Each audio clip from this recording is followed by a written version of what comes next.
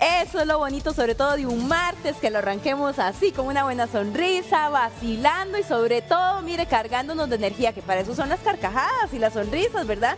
Para poder manifestar lo lindo que es celebrar la vida. Por supuesto, así tiene que ser y a veces ¿por qué no hasta reírse de uno mismo? ¿Qué importa? ¿Qué importa?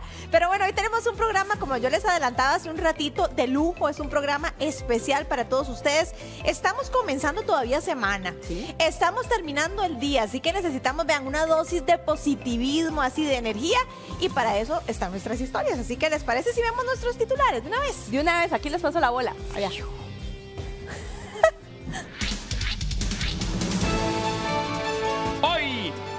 Informe 11.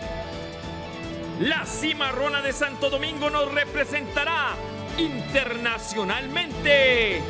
Además, este agricultor combatió el cáncer con llaveros y vasos. También. Estas gallinas ponen huevos desestresados, por eso hacen ejercicios. Y Araya Blog nos muestra el gigantesco fuerte Amber y el Palacio de los Espejos. Queridos amigos de Informe 11, no todos los días se tiene la dicha de entrar a un palacio de esta magnitud. Ahora estamos en la zona de los baños. Estoy más hoy en Informe 11. Y no les estábamos mintiendo, ya vieron ustedes un poquito de lo mucho que les tenemos preparado para esta noche.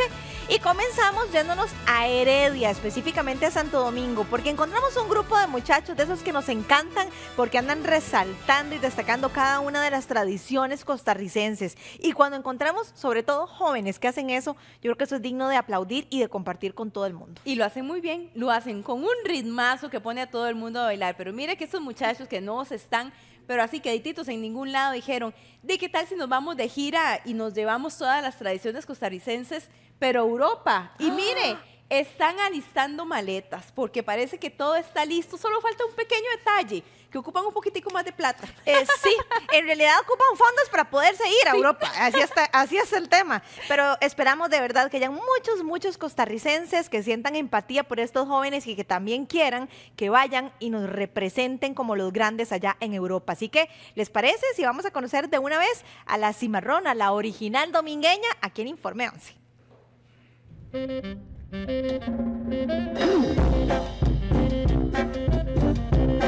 Este grupo de jóvenes de Santo Domingo de Heredia serán los únicos costarricenses que estarán presentes en dos festivales de bandas que se realizarán en España y en Francia.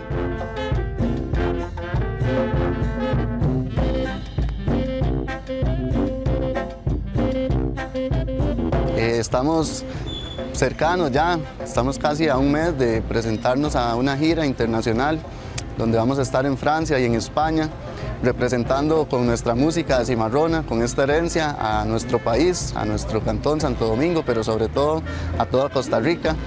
Eh, vamos a estar en, en, una serie de festivales, uno llamado el Festival Bandafolis en Francia, Después vamos a estar en una serie de actividades en Cataluña.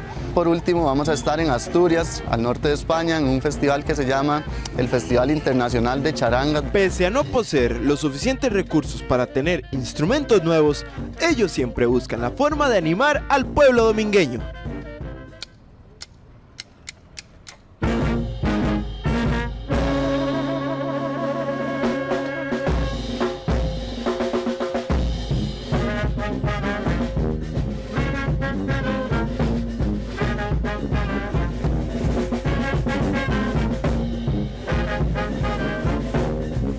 Esto es una, realmente una tradición que es muy fuerte en nuestro pueblo, en Santo Domingo de Heredia.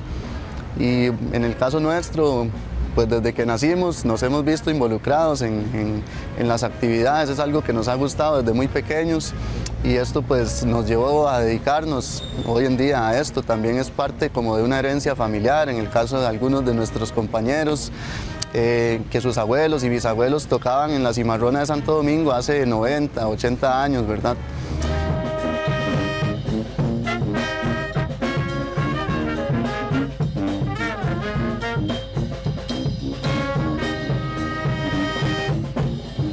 Ellos practican todas las tardes en los diferentes parques de la zona para mantener la esencia de Santo Domingo como pueblo de tradiciones. Y desde hace 16 años han representado al país en diferentes ocasiones en otros lugares del mundo.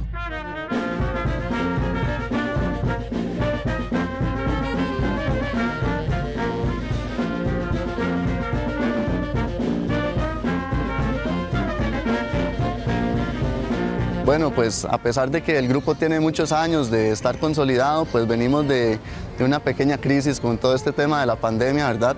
Y pues nos estamos apenas recuperando, así que hemos estado, ¿verdad?, eh, aprovechando esta invitación que consideramos que es muy importante para seguir manteniendo y representando por medio de la música de Cimarrona al país.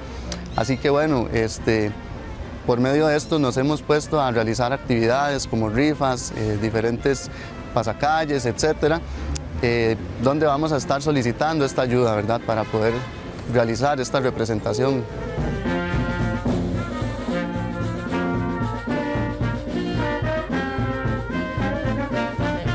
La clasificación de la selección les dio un impulso y su objetivo es terminar de recaudar los fondos para ir a representar al país.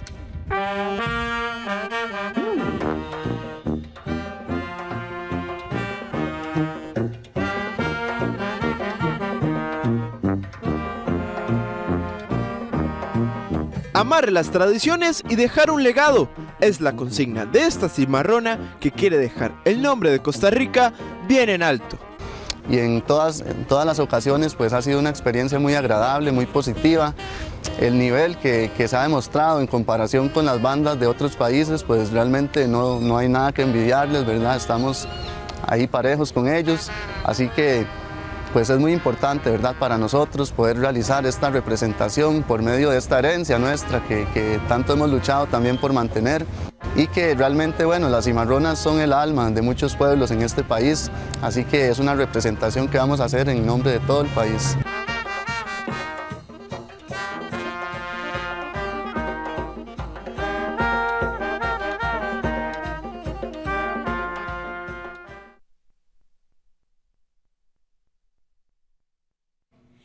Muchachos más talentosos. Es más, yo ya me los estoy imaginando allá, de verdad, por las Europas, ojalá así como en un clima como tipo Alemania, bien frío, ¿verdad? Y ahí los alemanes bailando al estilo la giganta. Se pueden imaginar ahí, pero poniéndoles el ritmo y el calorcito que tiene la música costarricense. Así que de verdad que nos encanta verlos que son muy apasionados, muy esforzados, que después de un periodo bastante difícil que ha traído la pandemia, pues se siguen reinventando y sobre todo buscando de qué otra forma pueden expandirse, ya cruzando las fronteras. La verdad nos hace sentirnos muy, pero muy orgullosos. Y a mí hay algo que me encanta y aquí me van a disculpar porque tal vez no tengo los conocimientos técnicos para, para referirme a, a cómo se llama esto, pero me gusta porque cuando yo los escucho se me salen de lo convencional, pues obviamente sí, se escucha que hay una cimarrona, que es muy tico, muy, muy sabroso, muy costarricense, pero me encanta porque siento que pueden ejecutar cualquier ritmo, ¿verdad? O, o, poner a bailar a cualquier persona. O sea, se me ocurre que los podemos escuchar con merengue, con salsa, con, con hasta con mambo. Y yo creo que eso es lo que hace que se diferencien de los demás. De verdad que siempre están ahí al pie del cañón y ojalá de verdad que cuenten con el apoyo que están necesitando para ir a representar a Costa Rica. Y es que cómo no, cómo no son apasionados de las tradiciones costarricenses y muchos de ellos están siguiendo ese legado que dejaron sus abuelos y bisabuelos. Claro, ah, de ahí viene, de esa pasión, de ese amor por lo que haciendo. Como todo en esta vida, mire, es que hay, en esta vida, si usted no le pone amor a las cosas, es que no quedan igual, no salen igual de lindas. Es más, mire, hasta las gallinas hay que tratarlas con amor. Ay, por supuesto. ¿Sí? Usted quiere huevos ricos, huevos sabrosos, no que la llevan.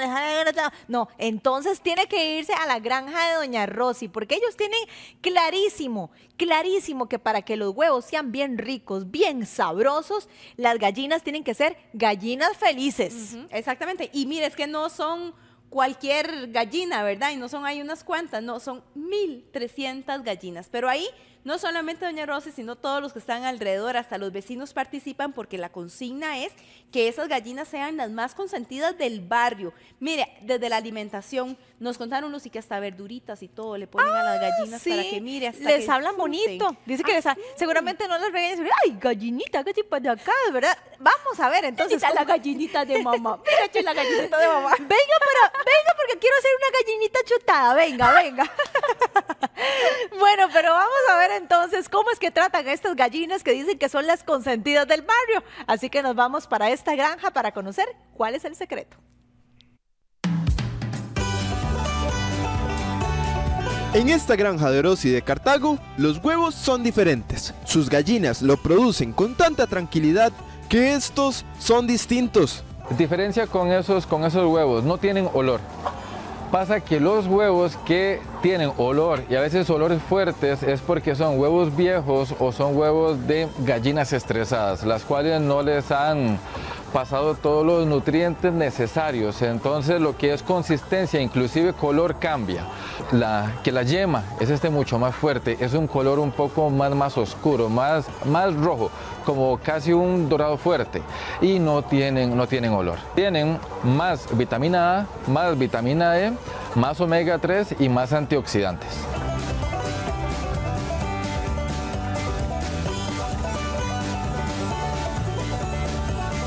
Diego utiliza técnicas como poner un repollo y darle vueltas para que estas gallinas corran, se diviertan y así se sientan liberadas de estrés.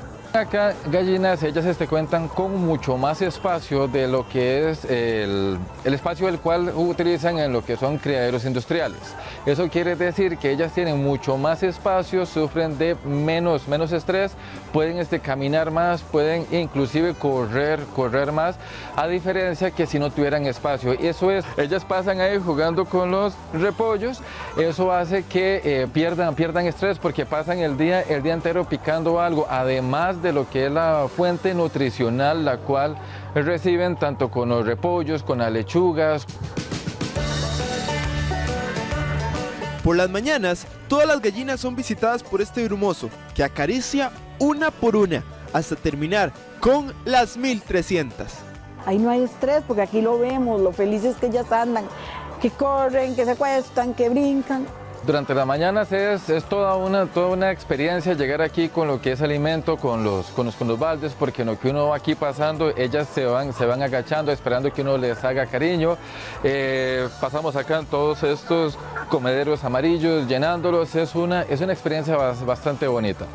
Su abuela fue quien les dejó este legado que ellos continúan. Eso fue a partir de que mi mamá se fue al cielo, ¿verdad? Hace dos años. Y ella era una señora que le encantaban los animales, más que todo, las gallinas. Y de ahí nos, nos surgió la idea de eh, hacer una granja. Se inicia como una iniciativa familiar, un, un, un emprendimiento en el cual básicamente buscamos tener gallinas las cuales tengan alimentación balanceada con concentrados, calcio, pasto, repollo, lechuga, coliflor, esto para que ellas tengan toda la nutrición la cual requieren para todo ese, todo ese periodo de de vida que ellas van a tener poniendo. Estas gallinas están bien chineadas por Diego.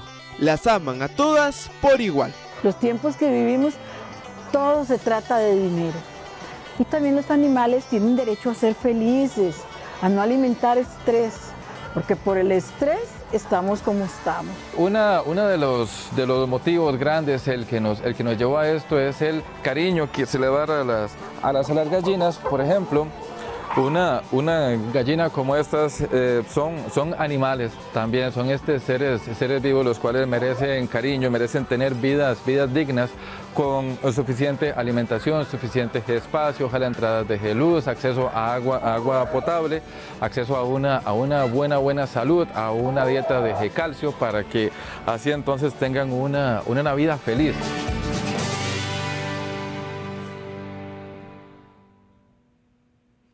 Vean, vean qué huevitos más preciosos. Aquí ya en el estudio ya nos pusimos de acuerdo Eh, aquí llevan cuatro para cada uno, ¿verdad? para probarlos, pero ¿cómo aprende uno con este tipo de, historias, de verdad? Y estaba comentando ahora Ginés, y es cierto, interesantísimo ver el dato de que los huevitos más oscuros tienen más vitaminas. Yo siempre me había preguntado cuál era la diferencia entre los huevitos blancos y los más oscuros.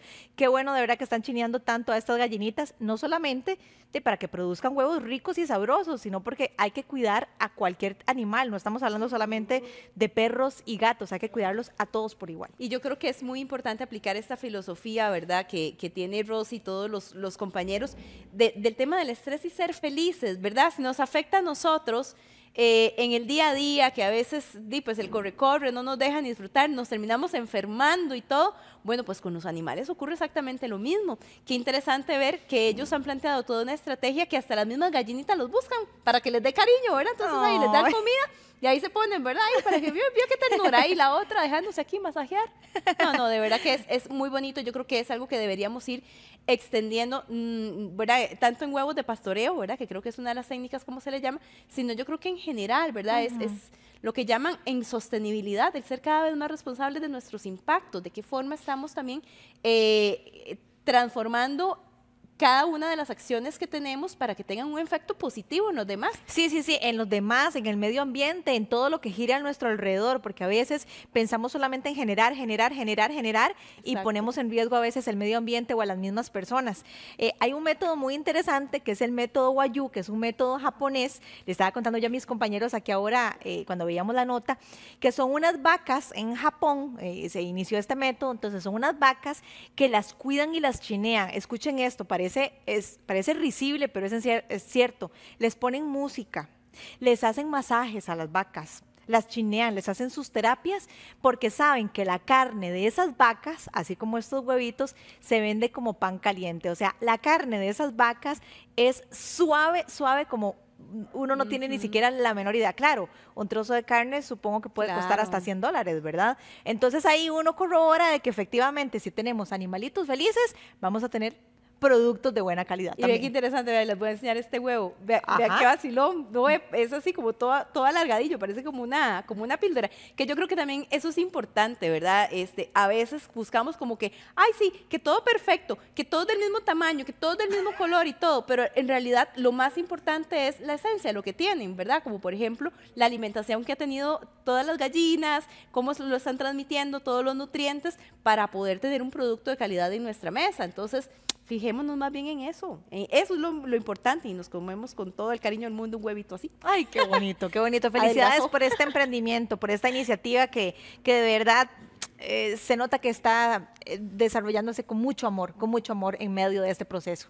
Y bueno, vamos a conocer a un caballero que su pasión es la agricultura, pero desde niño encontró otra pasión y la siguió desarrollando también. Fíjese que don Fernando es un apasionado de los llaveros. Es más, tiene cualquier cantidad ya en la casa. Lo interesante es que lo está utilizando para decorar su hogar. ¿Cómo será que lo hace? ¿Será que la casa guinda de un llavero? ¿Cómo será el asunto? Vamos a ir a descubrirlo.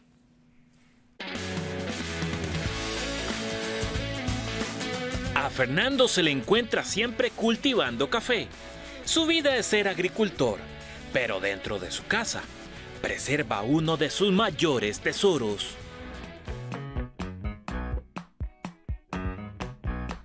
Mi nombre es Fernando Enrique Monge Abarca, vivo en Ceral Abajo de Acerrí. He sido agricultor y tengo una pasión desde pequeñito, los llaveros. Desde que tenía siete años coleccioné mi primer llavero. Lo tenía guardado, pero la pasión se me dio cuando tenía 42 años. Este vecino de Cedral Abajo de Acerrí es un apasionado por coleccionar todo tipo de llaveros, algunos de ellos bastante extraños. Cuando empecé la colección, ya en firme, tenía más o menos unos 15 o 20 llaveros. Que había coleccionando, los tenía guardados ahí. Tengo llaveros de todas partes del país, del mundo. De los llaveros que tengo de muchas clases. De fútbol, de mi equipo, de mi equipo fa- favorito de la liga. Tengo de Saprissa, de Heredia, de Cartago, de los mundiales. De muchas clases tengo de, de cigarrillos, de botellas de refrescos, de, de toda clase de pistolas. de, de todos los llaveros que yo conozco. Y tengo extraños porque tengo servicios sanitarios. Vea, aquí tengo tres llaveros que son casi los principales llaveros. Este porque es extraño. Ajá. Este orina. ¿Cómo así? Sí, sí, vea. ¿Eh? Ah, la pucha me mojó. Sí, sí, es- por eso es extraño. Es uno de los más viejos llaveritos que tengo yo. Y este me gusta mucho porque unas viejitas me lo trajeron de la, de la tierra santa de Israel. En casa de Fernando se preserva llaveros de todos los continentes y de diferentes épocas que representan un espacio de tiempo que a muchos y sobre todo a él le traen recuerdos. los 42 años me dio la enfermedad del cáncer.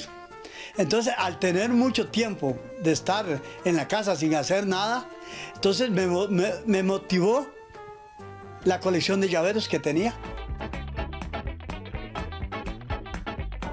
Y empecé a coleccionar y eso fue para mí algo muy especial, muy bueno, porque eso, eso me hizo que la vida mía cambiara, que no me deprimiera tanto, ya que el cáncer es terrible y a mí me han dado el 20% de vida y hoy, 22 años después, aquí estoy feliz y contento. Es la pasión, una de las pasiones grandes y cada día deseo tener más llaveros para llegar, en la fe mía es llegar antes de morir, pasar los 5 mil. Fernando, quien nunca se casó, tiene como compañía miles de llaveros que guarda como su gran tesoro. Don Fernando, vea, ya suma 3.500 llaveros. Y a don Fernando siempre se le queda bien si uno llega con un llavero. Dicen que no importa, que si el color es parecido, que, que si la forma es parecida, no importa. Don Fernando va a estar feliz en tanto le estén regalando llaveros. Y qué bonito, la verdad. En el caso de don Fernando, pues le gustan los llaveros. Habrá quien le gustan las camisetas, habrá quien le gusta, no sé, algún tipo de deporte, lo que sea. Yo creo que en la vida es importante encontrar cuáles son nuestras pasiones, qué nos entretiene, qué nos gusta y en qué si estamos dispuestos a invertir nuestro tiempo porque nos relaja, porque nos desestresa, porque incluso nos ayuda a veces cambiar el enfoque. Y don Fernando lo hace a través de los, los llaveros, pero le pregunto a usted, ¿usted con qué lo hace? ¿Verdad? Yo creo que todos en, en la vida encontramos cosas eh, o momentos en los que logramos sentirnos un poco relajados, haciendo algo, aprendiendo algo nuevo. Así que muchos dirán, ¿qué? ¿Llaveros? No, hombre. Bueno, pero don Fernando lo disfruta muchísimo y vea, ya 22 años de ser un guerrero. y que lo sacó de una depresión, ¿verdad? Yo creo que aquí es donde, exacto, la pregunta es, ¿con qué, con qué se terapea usted? ¿Verdad? Yo le contaba a Lucy que yo todo este tema de las plantas que me encanta lo arranqué en pandemia. ¿verdad? Entonces, que antes todo se me moría y ya ahora ya tengo mis matitas ahí bien lindas y todo, y resultó ser una terapia excelente. Entonces, qué importante que podamos encontrar ese llavero, esa plantita, ese lápiz, ese disco, no sé, lo que a usted le guste para poder canalizar el estrés, que es tan importante en esta vida, ese equilibrio. Ese equilibrio, qué bonito, me hacía mucha gracia ahora que comentabas rápidamente eh, lo de las plantas, que a Ginés le encantan. De hecho, que me regaló una y yo le mando hasta videos y yo, ay, vea, se me está muriendo, ¿qué hago? Pero para Ginés es una pasión. A mí me agarra una cosa, hasta me tiembla el ojo cuando yo veo que ya se me está secando. La congoja. Sí, yo no, pero es que ¿por qué se me muere? Si yo le echo agua, la tengo en la luz, después le quito la luz, después la paso de lugar y todo. Pero bueno, ve el contraste. Y Ginés lo disfruta enormemente. Entre más complicado, más lo disfruta. La, está- la estamos, la estamos este, entrenando. O sea, una buena mamá. Sí, eh, eh, sí, de plantas. Amigos, vamos a ir a un corte comercial, así vos me seguís contando, ¿verdad? Y cuando regresemos, va- venimos con más historias, así que no se vaya muy lejos, porque cuando volvamos del corte, vamos a irnos, o más bien, vamos a continuar en la India. Y es que vamos a ir a conocer el Fuerte Amber. Y muchos dirán, ¿qué es el Fuerte Amber? Bueno, es un lugar con muchísima historia, un lugar precioso en donde vivió el gobernante Amber, justamente. Así que vamos a conocer parte de su historia y de todo lo que hay detrás de esta edificación que usted está viendo acá, de este lago. Eso cuando regresemos de la pausa. Bueno, y de la India nos vamos a devolver a Costa Rica, a Grecia específicamente, porque ahí vamos a conocer a este caballero que se llama Don Albino. Y mire, es el caballero de los toros. Hace algún tiempo dedicó, o más bien decidió transformar el enfoque y ahora con esos toritos él hace que mucha gente la pase muy bien en los redondeles. Vamos a conocer un poco más de su historia también cuando regresemos aquí en Informe 11.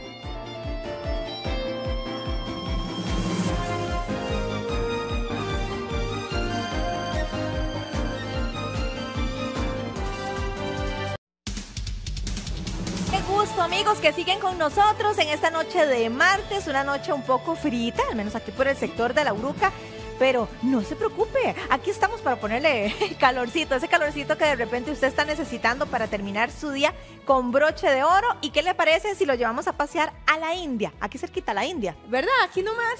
Sí, Sí, sí, sí. Mire que un viajecito además calienta, calienta el espíritu de cualquiera, sobre todo el lugar a donde nos va a llevar Christopher Araya, que dicen que es un lugar precioso, se llama El Fuerte de Amber y tiene muchísima historia. Sí, eso, eso es lo que más nos llama de repente la atención de este lugar, su historia. ¿Por qué? Porque ahí vivió el gobernante Amber y ahora en las tomas que ustedes vieron antes de ir a la pausa, bueno, se ve un lugar, una edificación grande y espectacular.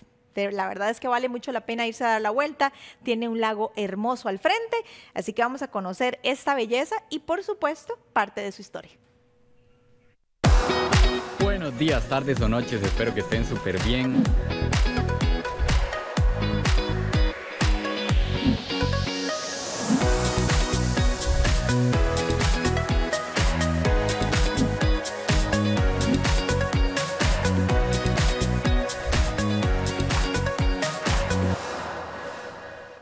Seguimos explorando Jaipur y ahora nos encontramos en uno de los lugares más impresionantes que se pueden encontrar en esta ciudad. Con ustedes atrás mío tienen el fuerte de Amber. Esto es una cosa impresionante. Está hecho en una colina y tiene un lago al frente. Ustedes tienen que verlo.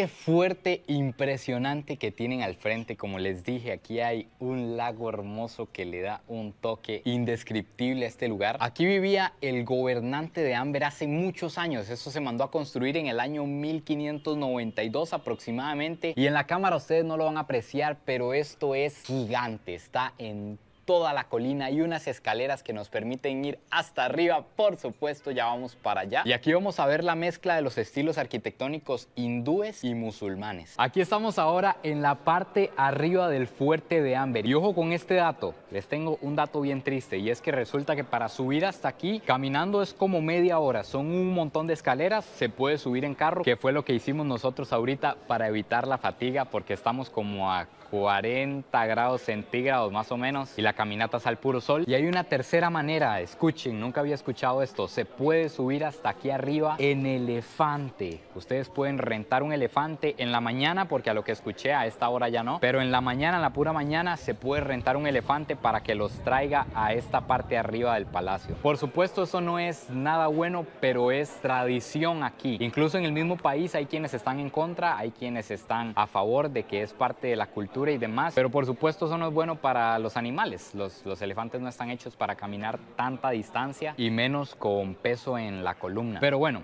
es un dato que les quería contar, algo que pasa por aquí y me dijeron que a esta hora no se puede porque resulta que con el calor se ponen agresivos, entonces no se puede ya ahorita y se vuelven locos. Ahora sí vamos a hablar de este increíble lugar porque ojo con la historia. Para empezar, esto es enorme, en toda esa colina hay una muralla que cubre este fuerte para que no fuera fácil el acceso y además este lugar es único, está ubicado en un punto estratégico. Por allá abajo está el lago de donde nosotros venimos y esto que estamos viendo se construyó en tres etapas. Esta de aquí es la primera etapa que empezó en 1592 como les dije y tomó tres generaciones para completarse. Se duró como 130 años haciendo todo lo que vamos a ir viendo poco a poco. En esta parte de arriba, que es la segunda etapa, era la corte donde el rey juzgaba a las personas. A lo que me cuenta el guía, aquí había un trono de oro donde se sentaba el rey y la construcción, como pueden ver, vean qué curioso, tiene elefantes y también tiene flores. Esto es una sola pieza, no tiene añadidos ni mucho menos. Y aquí se ve la combinación del hinduismo y del islam. En el islam se usan este tipo de figuras. Ahora vean qué interesante esto y además qué hermoso. Aquí hay 27 espacios. Esto que ven aquí es 1, 2, 3, 4 y así hay 9 y 3 filas son 27. Ah, Comando con la matemática. Resulta que en estos 27 espacios se sentaban personas a escribir todo lo que el rey dijera, todo lo que pasaba en la corte, todas las decisiones que tomaba el rey, se escribían en este lugar. Y además vean la vista que tenían estos bichos en aquel momento. Esto que están viendo aquí es el jardín del palacio, ahí sembraban algo que me dice el guía se llama cefrón. La verdad no sé cuál es la traducción, pero ahí pueden buscar a ver si de verdad existe la planta que se llame cefrón. Resulta que ese jardín llenaba de olor todo el palacio. Entonces esto olía delicioso. Dicen que es una fragancia fina. Y además me están diciendo que el cefrón se revolvía con leche y que era la Viagra de la época. Lo dejaba usted como un toro. Y antes que les comenté que hay una muralla que cubre todo el fuerte, resulta que la muralla tiene 12 kilómetros y se comunicaban con tambores y con fuego. En esas torres que ustedes ven ahí arriba, ahí estaban los soldados y mandaban las señales al palacio.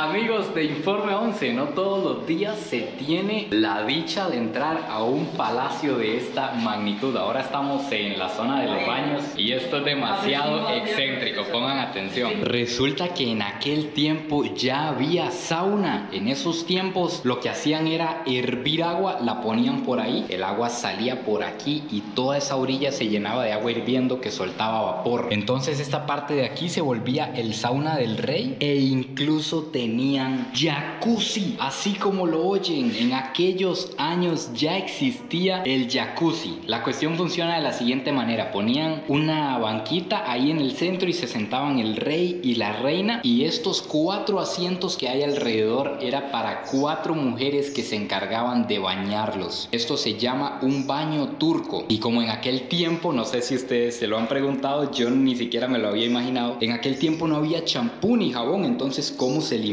Lo que hacían era echar fragancias en el agua y con esa agua se bañaban y duraban hasta tres o cuatro días oliendo delicioso. Y ya para entrar al palacio nos encontramos esta puerta impresionante. Me están contando que todo esto que ustedes ven pintado es una pintura que está incrustada en la pared, no es pintura que está por encima. No se quita, tiene 400 años de estar aquí y es porque es pintura vegetal. El método con el que lo hacían es que, por ejemplo, le hacían un hueco, por decirlo así, a la pared y lo rellenaban con pintura vegetal y con otras cosas que se revolvían, que eran de la naturaleza y quedaba así completamente sellado. Eso sí, aquí se siente relieve. Esto no es completamente recto tiene relieves de los huecos que hacían para la pintura. Además, como vimos en el Taj Mahal, este tipo de pintura que ven es pintura con piedra. Eso sí, son piedras semipreciosas incrustadas para darle la forma y el color. Además, tiene oro. Si lo vemos desde otro lugar donde le pegue la luz, ahí pueden ver cómo brilla. Eso que tiene es oro real, oro puro. Ahora sí, esta es la parte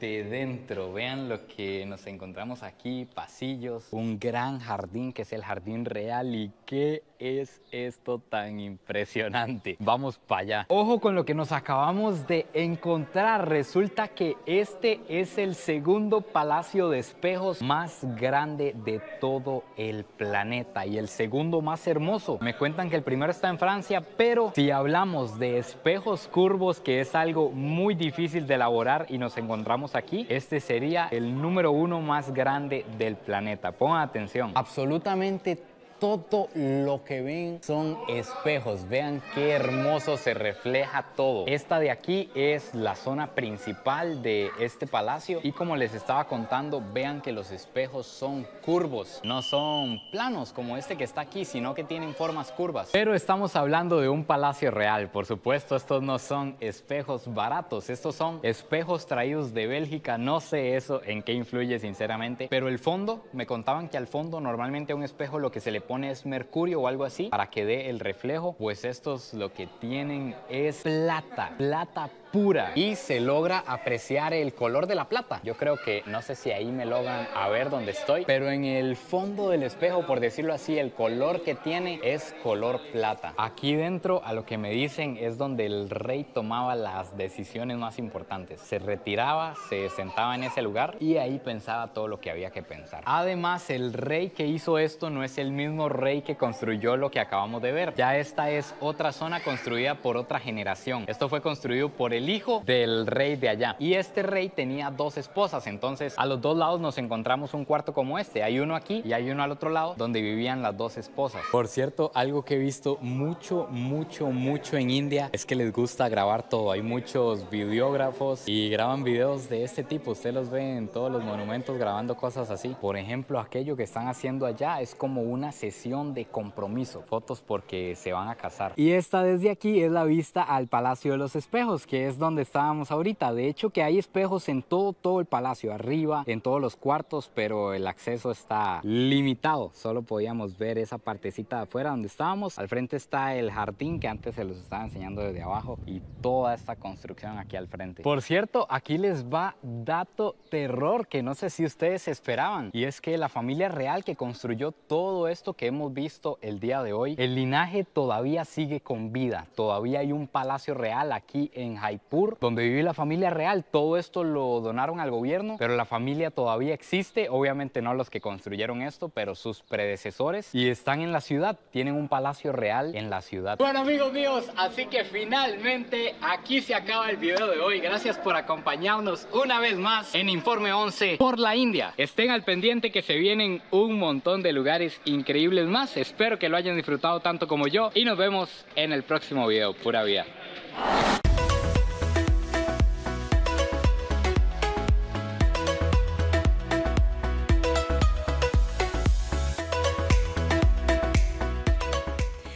Sé si ustedes comparten este sentimiento conmigo, pero yo estoy con una felicidad cada vez que Christopher Araya nos hace una nueva entrega de la India, porque creo que es el hecho de que cruzó completamente el charco, de que es una cultura tan, tan diferente, eh, tan nueva para nosotros, por menos aquí en Occidente, que cualquier cosa que nos cuente nos impacta. O sea, aquí todos estamos comentando, no, ¿cómo? No, que el baile turco, no, pero ¿cómo que no habían jabón? ¿Verdad?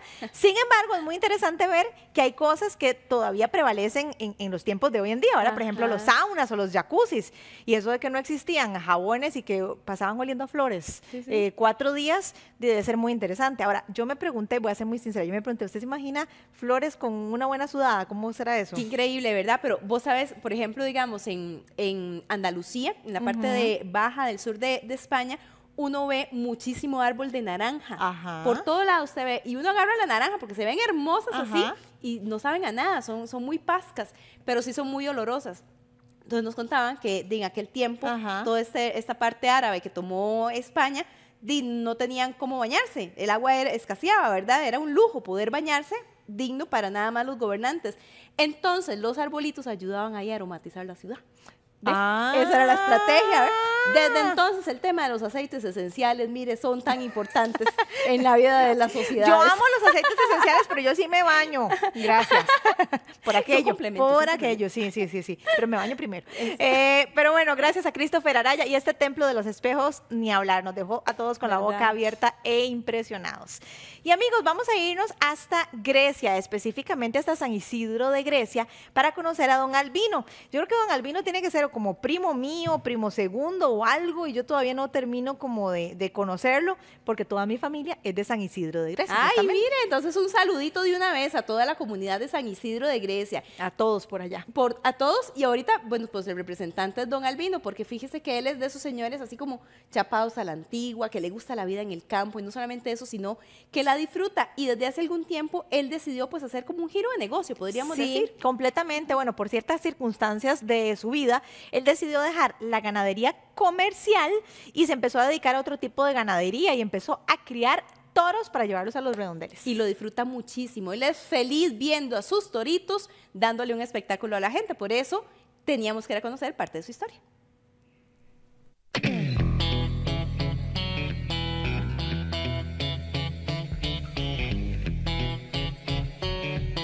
Albino tiene 65 años y es el experto en San Isidro de Grecia en criar Toros Bravos.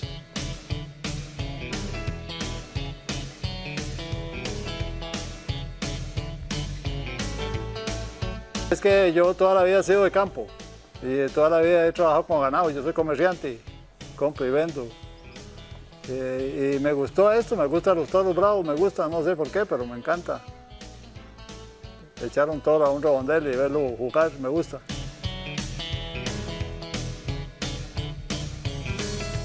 Este griego dedicó toda su vida al ganado lechero y de engorde, hasta que una tragedia lo llevó a hacer una serie de cambios.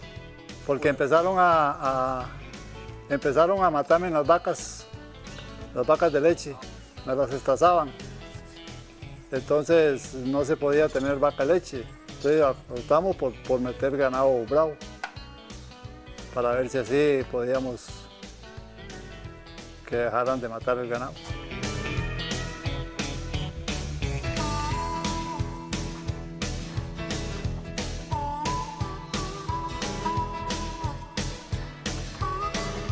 Tenemos más o menos unos 10 años de estar haciendo ganado para jugar, ganado bravo. Me han gustado mucho los toros de monta. Entonces ahí estamos. Ahí llevamos un lote de novillitas eh, Miura con Brahma, un encaste. Albino creó un mini redondel donde prueba la potencia de sus toros.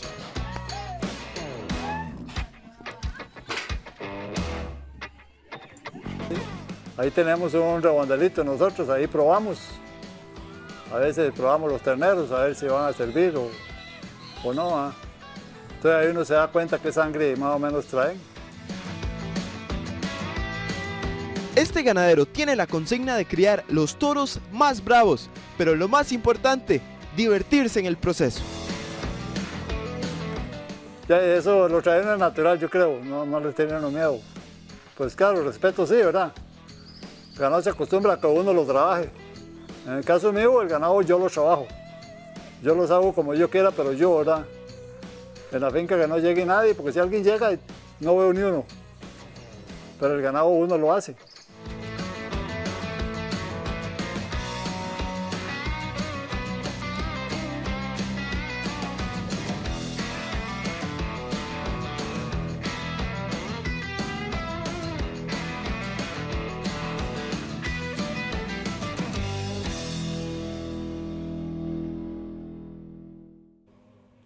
Eso es don Albino, esa es la actitud y si lamentablemente pasan circunstancias, eso que le ganaran su, le mataran su ganado, realmente que es muy doloroso y es todo el esfuerzo, eh, mucho trabajo ha invertido, pero que dicha que usted logró reinventarse, salir adelante y sobre todo ahora dedicarse a una actividad que disfruta mucho hasta eso, de tener ahí su propio redondel y, y- y probar a sus toritos, excelente para el espectáculo de esta cultura eh, de los toros que a muchísimos nos encanta. Bueno, lo que rescatamos es esa capacidad de reinventarse y de salir adelante. Y bueno, amigos, ahora vamos a ir a un lugar bellísimo, espectacular, en donde se pueden observar vistas panorámicas, pero también hay tilapia, sí. Hay un criadero de tilapia, de tilapia para el consumo humano, así que es un lugar bellísimo, es la finca de Don William, así que ¿les parece si nos acompañan? Así pasan los días, don William.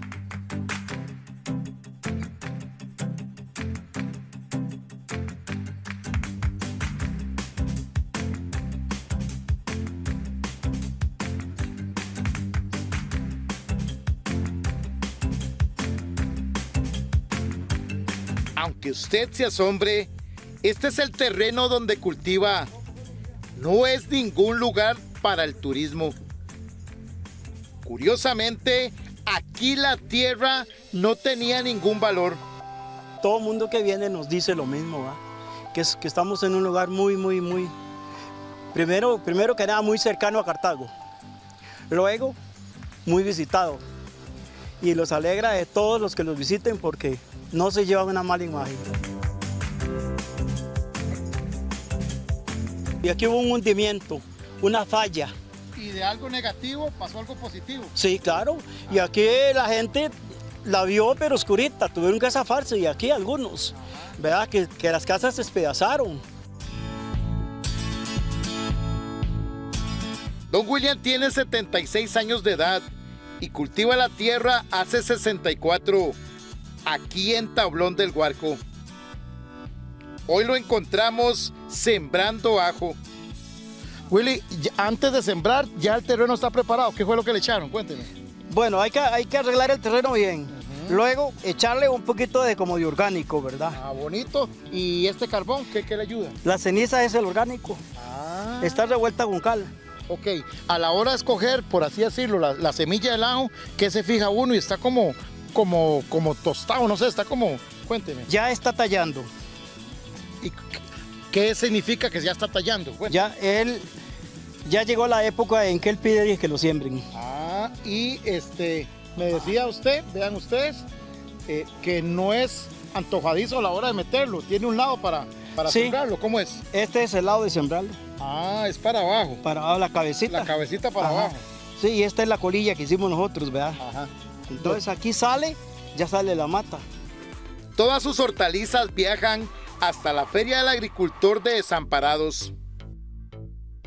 pequeño se ha dedicado a la agricultura. Antes acá los trabajos que se realizaban eran igual al campo, pero más que todo se dedicaban al maíz, frijoles.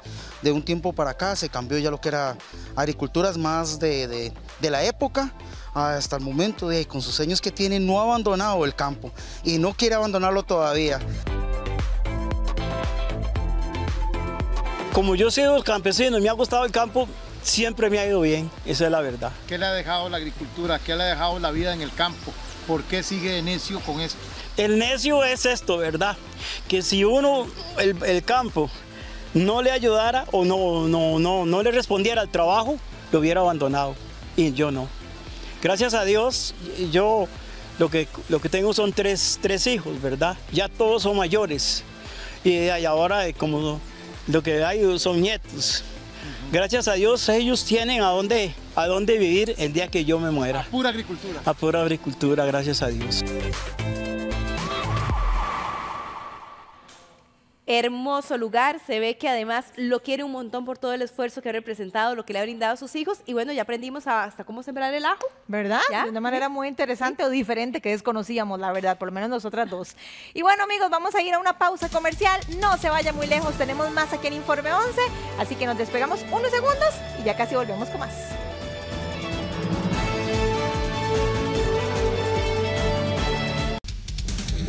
Bueno, ya estamos llegando a una de las partes que más nos gusta del programa porque seleccionamos esas lecciones que mire, hay que recordarlas, que no se nos olviden porque nos llegan al corazón y de verdad que pueden marcar una diferencia. Así que tenemos que bajarla de aquí, aquí, al corazón. Vamos de inmediato con lo que aprendimos. Nuestro homenaje es para los jóvenes de la cimarrona original domingueña, quienes con recursos limitados ya tienen muchos años de visitar naciones, dando a conocer nuestra cultura y tradición. Son muchachos que si bien podrían formar parte de cualquier grupo musical, debido a su profesionalismo, decidieron seguir adueñándose de la herencia familiar de la cimarrona. Tambito, melodías típicas y de autores costarricenses contemporáneos son interpretadas y escuchadas alrededor del mundo gracias a sus talentosos integrantes. Por personas como ellos, nuestro folclor sigue vivo.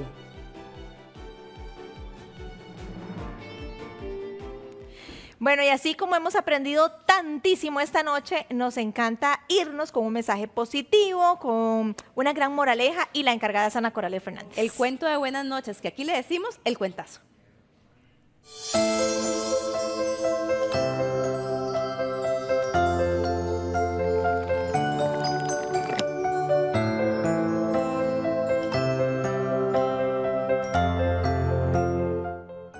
Este es un cuento de tradición oral popular y a mí me encantan porque los cuentos de tradición han venido, han venido, han venido desde tiempos muy antiguos hasta nuestros días. Este se llama Halcones y comienza cuando tres halconcillos bebés le lloraban a la mamá. El mayor decía, ay mami, ay mami, es que ya yo sé volar. Ya yo sé volar, pero las patas mías no tienen fuerza para agarrar a ninguna presa. El segundo decía, ay mami, ya yo tengo fuerza para atrapar a una presa, pero todavía me caigo cuando vuelo. Y el tercero decía, "Ah, mami, yo sé volar y ya tengo fuerza en las garras, pero soy muy lento. Y aquel lloriqueo que mamá Alcona estaba harta, harta. Se quedó viendo a sus hijos llorones y les dijo, ya, suficiente. No tenía ninguna chancla. Suficiente. ¿No se han dado cuenta, hijos míos babosos, que de lo que se trata es de que trabajen en equipo? Que el que vuela le ayude al que atrapa. Que el que atrapa guíe y aprenda al más lento. Y el más lento, que puede atrapar y volar, se deje llevar por sus hermanos. Dejen estar lloriqueando por cosas de cada uno y piensen en el bien de todos.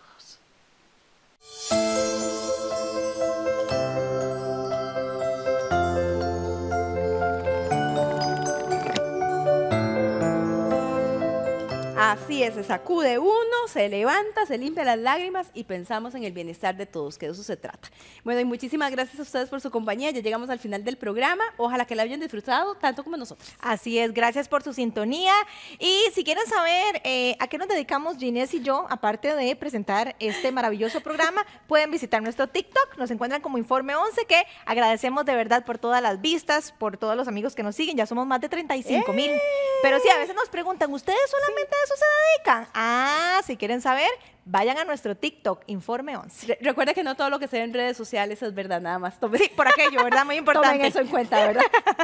Pero bueno, muchísimas gracias. Ojalá que disfruten para que sigan ahí riéndose un poco también. Más más a don Alexis lo vamos a poner también para que vea el TikTok. ¿Verdad que sí? Don Alexis, ¿cómo le va?